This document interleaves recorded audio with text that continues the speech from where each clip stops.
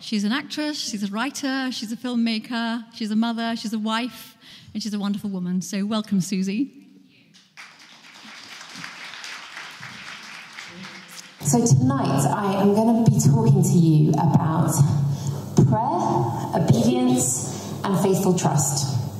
And if you're a concerned, thinking that sounds uh, a bit boring, um, hopefully it won't be. I'm just going to tell you a few stories and hopefully encourage you.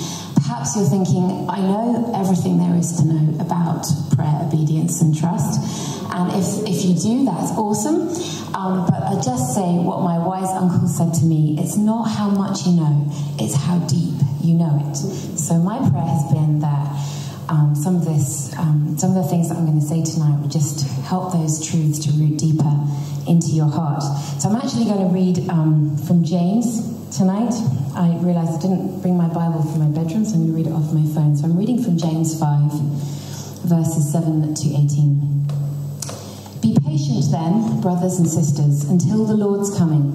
See how the farmer waits for the land to yield its valuable crop, patiently waiting for the autumn and spring rains. You too be patient and stand firm, because the Lord's coming is near. Don't grumble against one another, brothers and sisters, or you'll be judged. The judge is standing at the door. Brothers and sisters, as an example of patience in the face of suffering, take the prophets who spoke in the name of the Lord. As you know, we count as blessed those who have persevered. You have heard of Job's perseverance and have seen what the Lord finally brought about. The Lord is full of compassion and mercy. Above all, my brothers and sisters, do not swear, not by heaven or by earth or by anything else. All you need to say is a simple yes or no, otherwise, you'll be condemned. Is anyone among you in trouble? Let them pray. Is anyone happy? Let them sing songs of praise. Is anyone among you sick? Let them call the elders of the church to pray over them and anoint them with oil in the name of the Lord. And the prayer offered in faith will make the sick person well. The Lord will raise them up. If they sin, they'll be forgiven. Therefore, confess your sins to each other and pray for each other so that you may be healed. The prayer of a righteous person is powerful and effective. Elijah was a human being, even as we are. He prayed earnestly it would not rain, and it did not rain on the land for three and a half years. Again he prayed, and the earth and the heavens gave rain, and the earth produced its crops. So I'm just going to be pulling out a few things from that passage tonight. Um, no heavy exposition, just a few little points. I um, had quite a journey of prayer over the years. I've been a Christian since I was a child, and I've always prayed about stuff. But something happened to me a few years ago, which I'm just going to quickly share with you um, I had written a book which um, had kind of gone on the back burner. I tried to get it published. It was a modern, re, uh, modern version of a book called The Diary of Private Prayer by John Baillie. It's a Christian classic. And I'd written a new edition. I'd been asked by the, the family, the Baillie family, to write a new edition of this book for a contemporary audience. And I'd failed to get it published, and it had been on the back burner. My husband and I were living in North London we were working on some council estates there with people there, and to be honest, it was pretty tough. And we had, I'd got burnt out, which I think happens to us all at times, but I had um, got completely burnt out and had to sort of pull back from ministry for a while. And um, someone sent me a book in that time, which was called The Circle Maker. I don't know if anyone's read it here, but it's a book on prayer. And I looked at it and thought, oh, great, another Christian book to read, and put it to one side. Um, a friend of mine who I really respected had sent it to me, and I thought, well, I better have a look. And it was a book about prayer, and it was encouraging people to pray circles around their greatest dreams and their biggest fears. And I started to think, what are my dreams? I had got to the point where, to be honest, I was pretty depressed, and I kind of wondered if I'd ever carry on in ministry. I wondered what was going to happen next. And I wondered if I had any dreams anymore. And I said to the Lord, What would you like me to pray about? And I said, I felt him say to me, Why don't you pray for that book to get published that you spent like eight years writing? Um, eight years alongside changing nappies and life and everything else. I didn't spend the whole time just at my desk. And um, I was like, okay. So I started to get up at six in the morning and, and, pray, which is really early for you know the little ones. That was like a big commitment. And I started to pray, and um, I felt again just a little nudge, like have a little look and see who published the original version of this book. So I went online and I found out that it was a major publishing house in New York that had published this book. And I thought, oh, well, I'll just get in touch with them. I'll just email them, maybe call them and ask them if they'd like to publish this new edition. And so I went on the website and discovered, of course, that there was no uh, email or phone number. They don't want to hear from anyone, really, basically. Um, they only want to hear from literary agents and they don't want people to just submit their work. So I was a bit discouraged and um, I went back to prayer and I, I was praying again and I just decided to go back to the website and I looked and I saw on the website that there was an office in London which was about a mile and a half from my house. And in the book, The Circle Maker, he talks about going and, um, like Joshua, to Jericho. He um, didn't actually fight the Battle of Jericho initially. The Lord said to him, I've given Jericho into your hands. And he circled Jericho seven times, seven days, and then seven times on the last day. And it was the prayer that made the walls come tumbling down. So I felt quite inspired. And I decided to go down there. I had like three hours in a week when my daughter was in nursery and my son was in school. I had three precious hours, and I spent that those hours every week walking down to to um, this publishing house in London and circling it seven times in prayer and walking back. And I felt like a bit of a nutcase, actually, if I'm honest with you. And I think the security guard started to give me a few looks. I was a little bit like, it's not me again, it is me again. And um, and I would come back from those prayer times completely exhausted because prayer is actually really hard work. And I had sent an email previously to the family of the original author, to the person that owned the rights of the book, and I'd said, Do you know anyone within this publishing house I could get in touch with? And I'd heard nothing.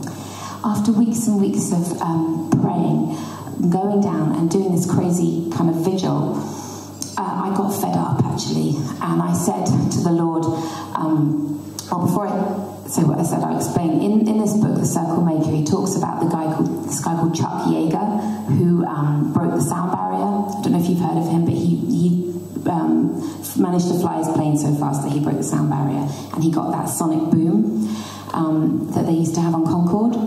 And it, he talks about in the book about kind of having this uh, sonic boom in prayer, like when you've been praying and praying, and, and like with the planes, everything sort of might seem even just fall apart, you kind of get this boom, this sort of breakthrough, either in your heart or practically speaking, when you know that God's answered your prayer.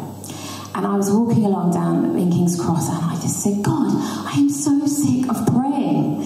I'm so sick of praying. I just want to feel that boom, like Mark Batterson talks about in his book.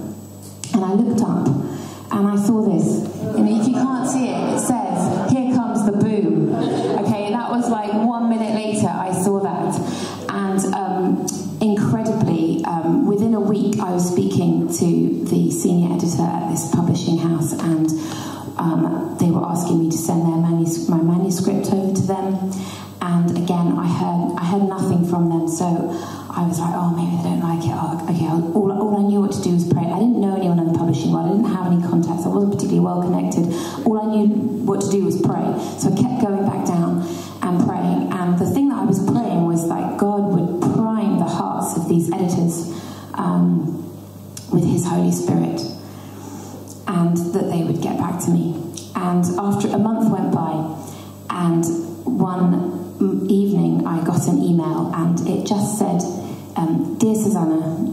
circle back to you, we are primed to go forward with your new edition.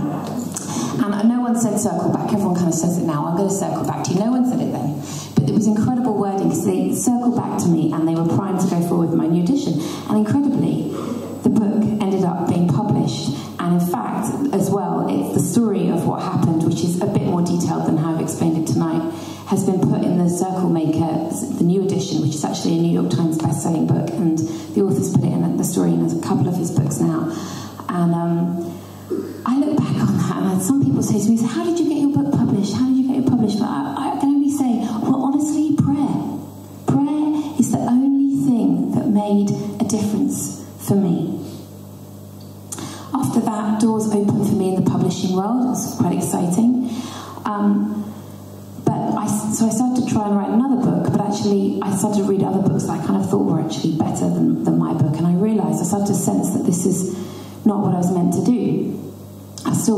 in mum land, which is a lovely place to be, and I love my kids with all my heart. Um, but with life focused on them and ministry, I sort of started to kind of lose my way a bit. And I started to have a bit of a very controlled midlife crisis. Uh, not a crazy one, just kind of actually quite a sad and lonely one, where I felt this huge weight of a question on the back, on my back, which was, what is the one thing that I've been made to do, God? What is my purpose? What is my unique contribution to planet Earth going to be? And anyone who's carried around a huge question mark on their back will know it's pretty tiring. But one day I just spontaneously said while I was driving, What if I am a filmmaker? I've just never made a film. And somehow in that prayer time, God unearthed a deep dream that had been in me for a really long time. I couldn't really do a lot with it at the time except pray and hope and start writing screenplays. I knew I had to honour the commitments that I already had, like raising my kids and supporting my husband in the ministry and helping at church, and continue to obey God in the small things and in the daily things and in the hard things and trust that He would do the rest. That was what I knew I had to do. And I guess I want to ask you tonight, like, how, how is God calling you to obey? Because God requires obedience of all of us. Obedience is actually what qualifies us. I was recently struck by the fact that I looked through the Bible for people who were qualified to do the things that God had called them to do. And this is the list. Next slide, please. Yeah. NA. There aren't any, okay?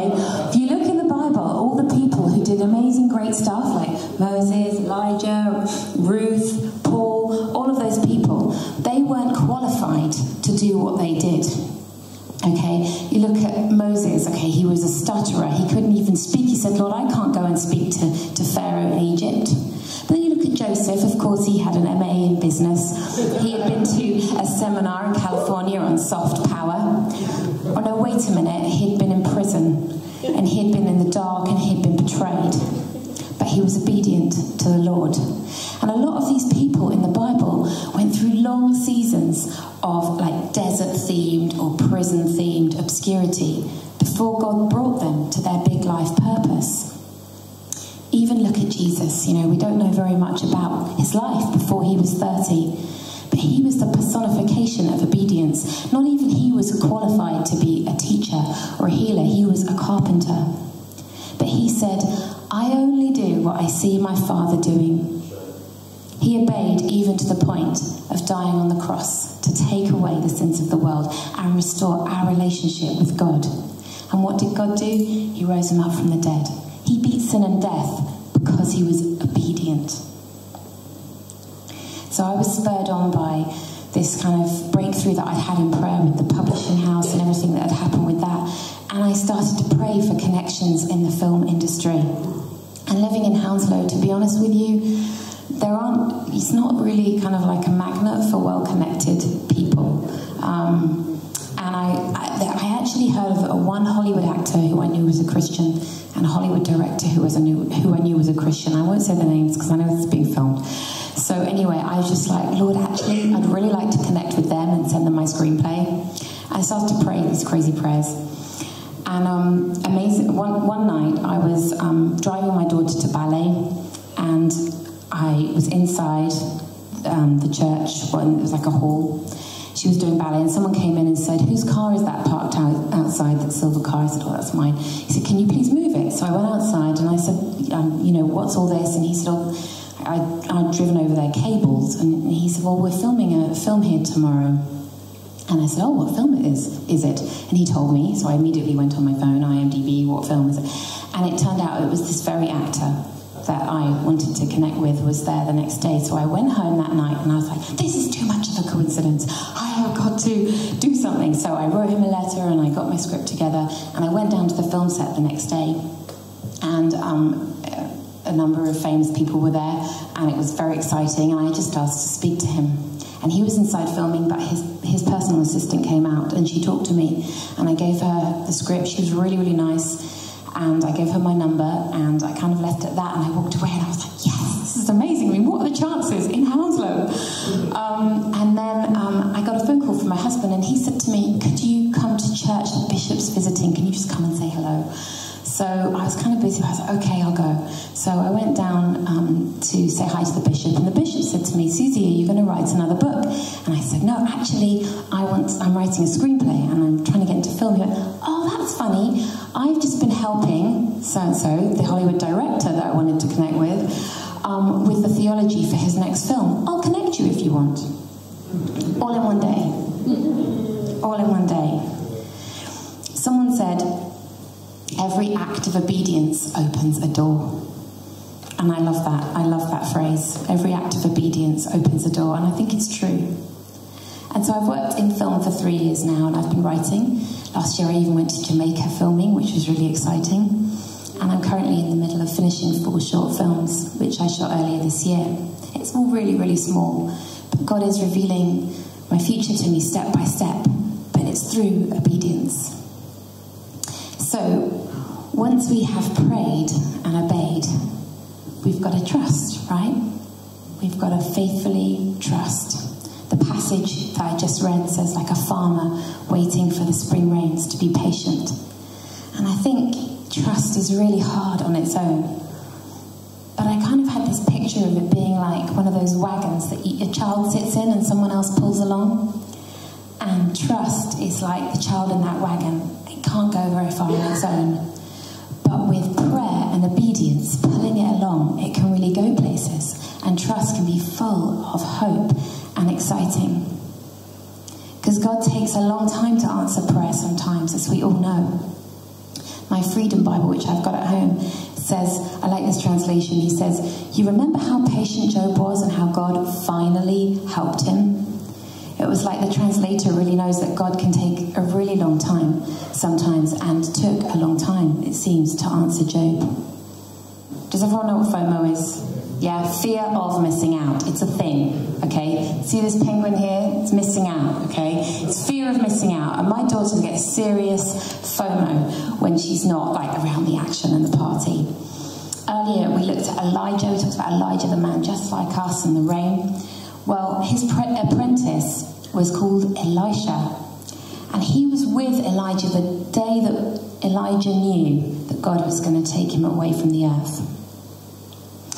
And I look at Elisha and I think that guy had FOMO. Because if you look at the story, right, Elijah says to him, I'm going off to Gilgal. Elisha, you stay here. Elisha's like, no, no, no, I'm coming with you.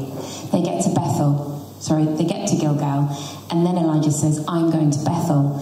And Elisha says, I'm coming with you. Elijah says, No. He goes, No, no, I'm coming with you. And then they get to Bethel, and Elijah says, Elisha, you stay here. I'm going across the Jordan to Jericho. And Elisha says, I swear that I am not going to leave you. And so Elijah gets the picture, and they go off together to Jericho. And then before um, Elijah dies, or he doesn't die, he goes up to heaven, but before he goes, um, he says to Elisha, What would you like me to ask God for you? And Elisha says, I want a double portion of your spirit.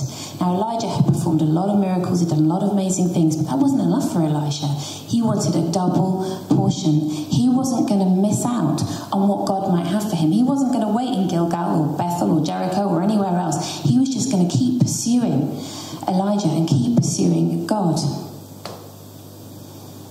Most of the time, I don't get FOMO when I look on social media or see someone else's career or finances. But I have got FOMO, like Elisha, for one thing, and I would encourage you to have FOMO for it too, and that is God's kingdom. You know, you don't want to miss out on what He has got for you, what He's going to do through you, and what He's going to do in you. And there's the kind of FOMO protection plan is prayer, obedience, and trust. Because if you do these three things, then you are not going to miss out on the things that God has got for you. Recently, I attended an, an awards ceremony at a film festival in London where a film I did last year had been nominated. And I got in the room and I looked around and I thought, man, everyone is younger than me here. And then I started to think, this is ridiculous. I should be further on than I am. Most people my age, 41. are at the peak of their career. They're not just starting out. Then I remember Jesus, and he shows me that I am like this. I've got roots, right? I've got roots, baby.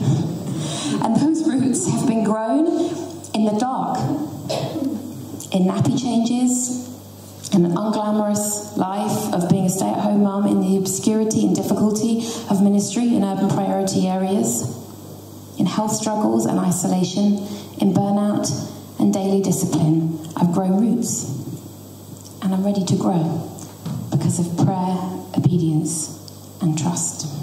So tonight, I just want to comfort you if you're disturbed with these words.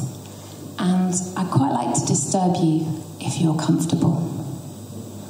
In prayer, if you've given up praying big prayers or crazy prayers, ask the Lord what He wants you to pray for. Ask Him to give you big dreams and pray them into fruition. One tiny um, little example, if you go back a slide, actually, it's just this. Someone said to me recently, pray your crazy prayers. One crazy prayer I'll just quickly share with you that I prayed was when this when the book was published, I prayed that um, someone famous would read it and that they would tweet about it and that, would cause lots of people to buy it because I didn't have time to publicize it. I couldn't work out or could be I didn't know anything about having a platform or any of that kind of stuff. That sounded like a lot of stuff I didn't know about and didn't have time for. So I just prayed that crazy prayer and I was like, Lord, may someone do that. And I prayed that prayer four years ago and the reason I did that is because one of my dreams was for the royalties of the book to go to the church ministry that we were doing. And so I really wanted to sell lots of copies so it could finance the ministry in, in urban areas and poor areas. And about four months ago, I got an email and uh, it was saying, Have you seen this article? And I looked the article up and it, it said that Chance the rapper, the Grammy award winning rapper in America, uh, with nine and a half million followers on Instagram, had posted about my book that he was reading it and that he was using it for a sabbatical. And after that, like it was amazing. Like it, the in annual sales, it sold another year's worth in like a couple of weeks. And the church got a great big fat check like two weeks ago, which was just so exciting. So that's a crazy prayer, crazy answer to prayer. Why not pray it? You know. So I want to encourage you to pray your crazy prayers. And I want to encourage you in obedience. Maybe take some time to ask yourself in what area is God calling you to greater obedience? Maybe in work, maybe in relationships, maybe in maybe in daily disciplines. I want to encourage you that every act of obedience, no matter how small, opens a door somehow. And in trust, is there an area in your life where God is calling you to hold your nerve, to hang on to that word that He gave you so long ago? I just want to encourage you not to give up. I'm just going to finish with a poem which has been attributed to Sir Francis Drake. Probably heard it before, but remember what I said at the beginning it's not how much you know, it's how deep you know it. So allow the words to sink in. Disturb us, Lord, when we are too well pleased with ourselves, when our dreams have come true because we have dreamed too little, when we arrived safely because we sailed too close to the shore. Lord, when with the abundance of things we possess, we have lost our thirst for the waters of life. Having fallen in life, love with life, we have ceased to dream of eternity. And in our efforts to build a new earth, we have allowed our vision of the new heaven to dim. Disturb us, Lord, to dare more boldly, to venture on wider seas where storms will show your mastery, where, losing sight of land, we shall find the stars. Thank you. Amen.